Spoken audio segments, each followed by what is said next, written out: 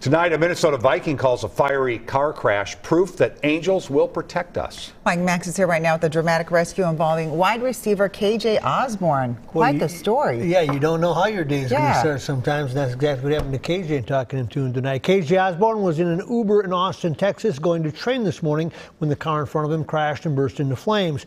He and his driver, along with three others in another car, stopped and decided to try to pull him out. The risk that the car was already on fire and they didn't know the potential for exploding. But Osborn helped grab him and told me he was able to carry him to safety. I kind of picked him up. You know, he's he's bleeding. His, his blood is on me. And we carry him like 10, 15 yards, try to get away from the car just in case it blows up.